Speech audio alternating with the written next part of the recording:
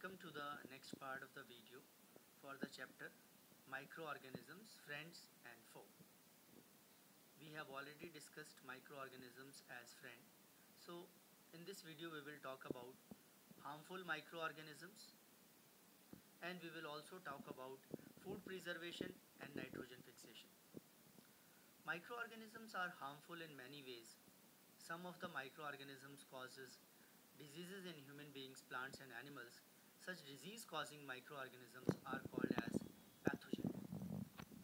As we know microorganisms can spoil the food, clothes, leathers. So they are very harmful.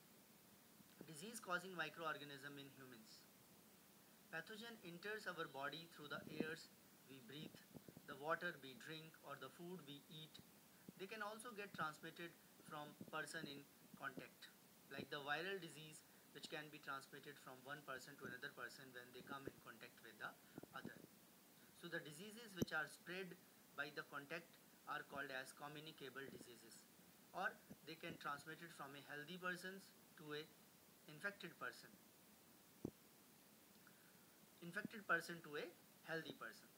So these are called as communicable disease. If some person is suffering from common cold he or she may transfer that disease to a healthy person, including cholera, common cold, chickenpox, tuberculosis.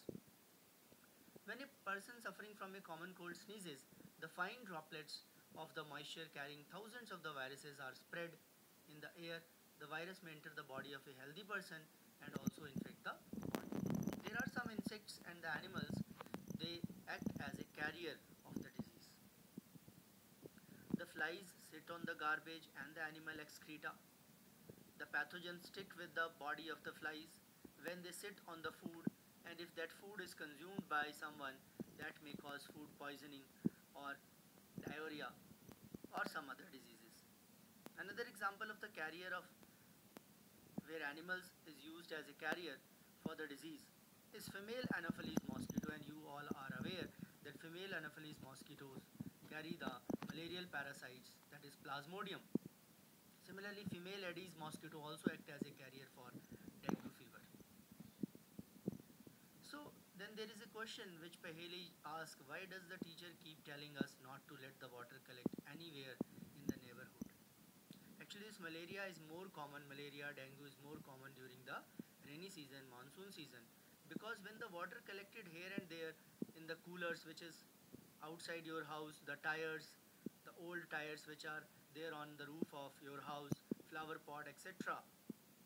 Then the mosquitoes breed there. Mosquito lays the egg and they will form the new insects and that may transmit the disease.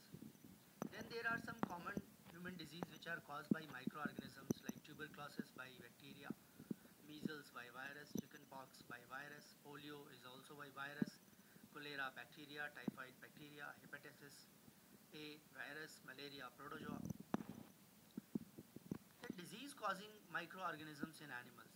Several microorganisms not only cause the disease in humans and plants but also in other animals. For example, anthrax is a very common disease of animals, cattle disease caused by the bacterium.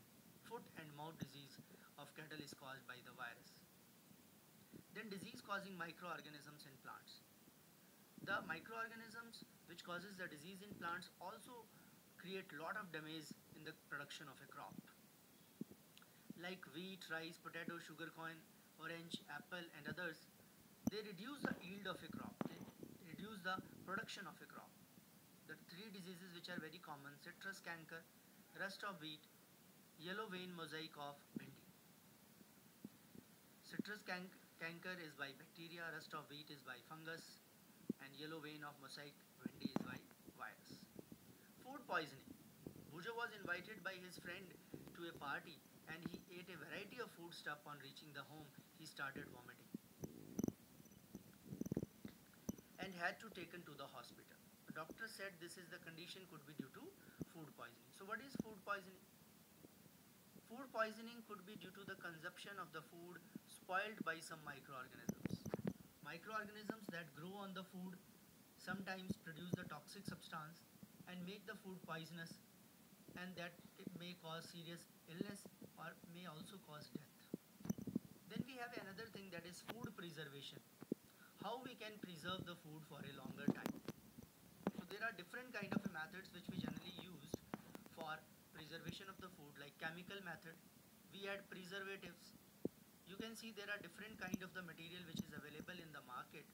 They use different kind of preservatives like pickles where sodium benzoate and sodium metabisulfides are common preservatives. Preservation by common salt. When your mothers prepare pickles, they will add lot of salt into that. When you prepare aam papad, when you prepare other kind of things related to pickles, you either add sugar, either add common salt. So preservation of by common salt as well as sugar is very common. Jams, jellies, squashes, all are prepared by adding sugar. Preservation by oil is also another method. Hot and cold treatment is also there. Pasteurized milk that we generally consumed. Without boiling as it is free from harmful microbes.